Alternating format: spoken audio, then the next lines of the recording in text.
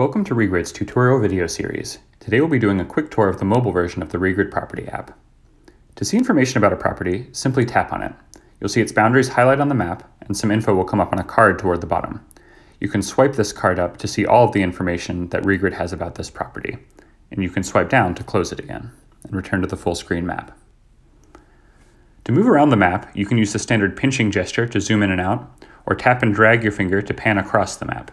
You can also use our search button to find a place or property of interest, and you can always tap the triangular locate me icon, which is found below the search icon, to be zoomed right to your current location.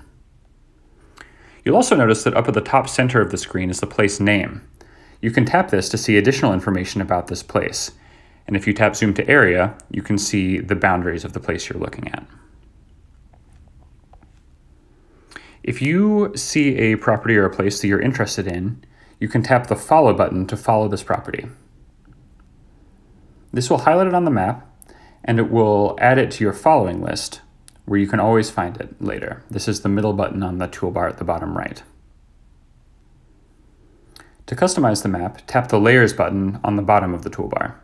This will bring up a menu where you can toggle on and off base maps like satellite and elevation contours, as well as overlay things on the map, such as, for example, owner names.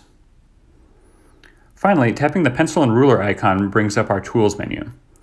Here you can measure distance, area, find the lat-long coordinates of a place on the map, or draw a custom focus area for following purposes. That's it for our quick start video. Please watch some of our other tutorial videos that go more in depth about specific functions if you're curious. And don't forget that as a subscriber, you get access not only to the app, but also to our website, app.regrid.com, where you'll find additioning mapping tools better suited to larger screens.